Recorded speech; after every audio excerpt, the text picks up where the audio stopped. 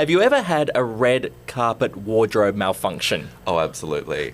I, I, the one that comes to mind is my very first Arias. It was 2013. I'd just gone back from schoolies that day. I had pink hair and I wore this, what someone online described as an acid poo coloured suit. like, ghastly. But I thought that I was poppin'.